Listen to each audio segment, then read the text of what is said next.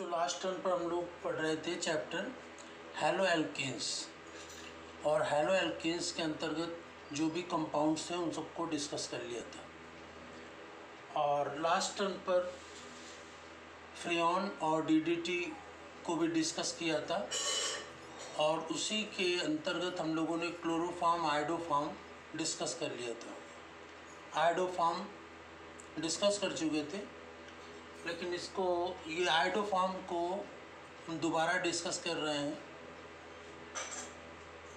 Try halo alkanes के अंतर्गत chloroform iodoform को डिस्कस किया था। तो क्लोरोफार्म को बनाने की जो विधियाँ होती हैं लेबोरेटरी प्रोसेस इंडस्ट्रियल प्रोसेस उन सबको डिस्कस कर लिया था। उनकी जो केमिकल प्रॉपर्टीज़ थी, उनको भी डिस्कस किया था। और इसी के पश्चात इसी में आगे पढ़ेंगे आज से आइडोफॉर्म आइडोफॉर्म इसका फॉर्मूला होता है C H I three C H I three iodoform ठीक है ना? इसको आई लैंग्वेज में लिखेंगे तो ट्राई आइडो मेथेन आइडोफॉर्म को आई में लिखेंगे ट्राई आइडोमेथेन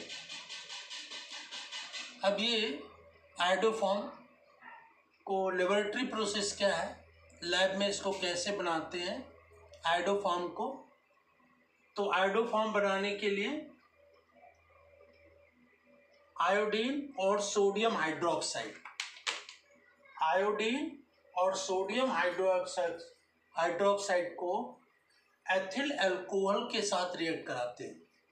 एथिल अल्कोहल की रिएक्शन आयोडीन और सोडियम हाइड्रोक्साइड से कराने पर iodoform C H I three sodium formate sodium iodide और वाटर जल प्राप्त होता है। तो इस प्रकार से इसमें एथिल अल्कोहल की रिएक्शन आयोडीन और सोडियम हाइड्रोक्साइड से कराते हैं। तो iodoform sodium formate, sodium iodide और जल प्राप्त होता है।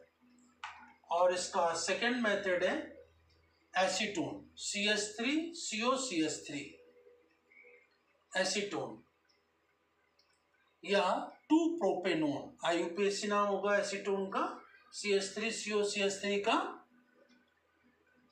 टू प्रोपेनोन प्रोपे इसकी भी एसीटोन की रिएक्शन भी आयोडीन और सोडियम हाइड्रोक्साइड से करा दें।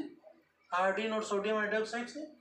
तो आयोडोफॉर्म सोडियम आयोडाइड और सोडियम एसिटेट और जल प्राप्त होता है। तो इस प्रकार से आयोडीन और सोडियम हाइड्रोक्साइड इनकी रिएक्शन एथिल अल्कोहल या एसीटोन किसी से भी करा देते हैं। एथिल अल्कोहल से करा दी या एसीटोन से। तो इससे हमें आयोडोफॉर्म प्राप्त होता है, या ट्राई आयोडो मेथेन प्राप्त होता है। तो इस प्रकार से ये दो मेथड हैं, जिससे लैब में हम लोग आयोडोफॉर्म या ट्राई आयोडोमेथेन प्राप्त करते हैं। ठीक है?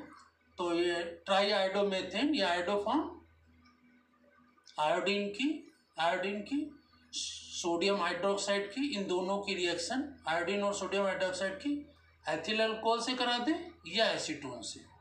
तो आयोडोफॉर्म प्राप्त हो जाता है। अब इसके बाद इसमें देखते हैं इसकी फ़िज़िकल प्रॉपर्टीज़ क्या क्या होती हैं।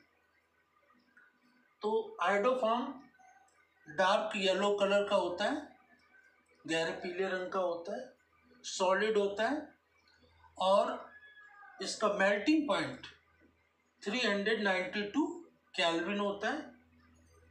और ये जल में नहीं घुलता है, insoluble in water but soluble in organic solvent. कार्बनिक विलायकों में ये घुलनशील होता है। ठीक है ना? सोल्यूबल इन ऑर्गेनिक सॉल्वेंट कार्बनिक विलायकों में घुल जाता है और ये आइडोफॉर्म रखा रहता है काफ़ी समय तक। तो ये अपने आप डिकम्पोज हो जाता है। इससे आयोडीन जो होती है, इससे निकल जाती है। धीरे धीरे रखे रखे ये डिकम्पोज होता रहता है। अब इसमें केमिकल प्रॉपर्टीज़ देख लेते हैं। आइडोफॉर्म या ट्राई आइडोमेथिन का रिडक्शन कराते हैं। जिंक और एस की प्रेजेंस में तो मेथिलीन आयोडाइड प्राप्त होता है C S two I two और हाइड्रोजन आयोडाइड प्राप्त हो जाता है। इसके पश्चात आइडोफॉर्म या ट्राई आइडोमेथिन की रिएक्शन इसका सोडियम हाइड्रोक्साइड से कराते हैं। तो सोडियम फॉर्मेट सोडियम आयोडाइड और वाटर मालिक्यूल्स प्राप्त होता है, जल प्राप्त होता है। नेक्स्ट इसमें एक रिएक्शन बहुत इंपॉर्टेंट है, जो हम लोगों ने पढ़ी है। वो कौन सी है? Carbyl amine reaction. Carbyl amine reaction में ये प्राइमरी एमीन की टेस्टिंग की जाती है। तो इसमें कोई भी प्राइमरी अमीन हो, एलिफेटिक या एरोमेटिक। एलिफेटिक मतलब कि C two H five N H two या aromatic C six H five N H two ठीक है ना? एथिल अमीन या एनिलीन एरोमेटिक अमीन जो है, वो C six H five N H two क्या होता है? एनिलीन होता है। तो प्राइमरी अमीन एलिफेटिक या एरोमेटिक किसी की भी रिएक्शन आयोडोफॉर्म और पोटेशियम हाइड्रोक्साइड से कराते हैं। तो ये आइसोसाइनाइड प्राप्त होता है R N C potassium iodide और जल प्राप्त होता है। तो ये, इसको हम प्राइमरी अमीन की रिएक्शन आयोडोफॉर्म और पोटेशियम हाइड्रोक्साइड से कराते हैं आइसोसाइनाइड प्राप्त होता है। और आइसोसाइनेट की जो बहुत ही स्पेशल टाइप की स्मेल होती है, बहुत ही ख़राब, इसी से इसका टेस्टिंग होती है। तो इसे हम आइसोसाइनाइड टेस्टिंग भी कहते हैं। इसे कार्बिलेमिन रिएक्शन भी कहते हैं और आइसोसाइनाइड टेस्टिंग भी कहते हैं, क्योंकि आइसोसाइनाइड इसमें बनता है और उसी की स्मेल से इसकी प्राइमरी अमीन्स की पहचान होती है। तो इस प्रकार से ये कार्बिल एमीन रिएक्शन या आइसोसाइनाइड टेस्टिंग आइडोफॉर्म की reaction silver powder AG iodoform C H I three और ये C C H I three दो आइडोफॉर्म के मालिक्यूल और ये सिल्वर पाउडर रजत चून तो आइडोफॉर्म की रिएक्शन सिल्वर पाउडर से कराते हैं तो acetylene gas C two H two प्राप्त होती है। तो इस प्रकार से इसमें ये, इसकी केमिकल प्रॉपर्टीज़ हैं। तो इसमें आइडोफॉर्म बनाने के लिए दो मेथड आयोडीन और सोडियम हाइड्रोक्साइड की रिएक्शन एल्कोहल से या एसीटोन से। किसी से भी करा देते हैं तो क्या प्राप्त होता है? आयोडोफॉर्म प्राप्त होता है। आयोडोफॉर्म येलो कलर का सॉलिड क्रिस्टल्स होते हैं और इसका मेल्टिंग पॉइंट 392 कैलविन होता है। और ये वाटर इनसेल्युबल होते हैं, जल में नहीं घुलते हैं। जो ऑर्गेनिक सॉल्वेंट होते हैं अल्कोहल ईथर बेंजीन आदि इसमें डिजॉल्व हो जाते हैं, घुल जाते हैं। ठीक है? और आयोडोफॉर्म काफ़ी समय तक रखा रहता है तो ये डिकम्पोज हो जाता है, इससे आयोडीन निकल जाती है। इसका रिडक्शन कराते हैं जिंक और एस की प्रेजेंस में तो मेथिलीन आयोडाइड प्राप्त होता है, और सोडियम हाइड्रोक्साइड से रिएक्शन कराते हैं हाइड्रोफॉर्म की तो सोडियम फॉर्मेट सोडियम आयोडाइड और वाटर मालिक्यूल मिलता है।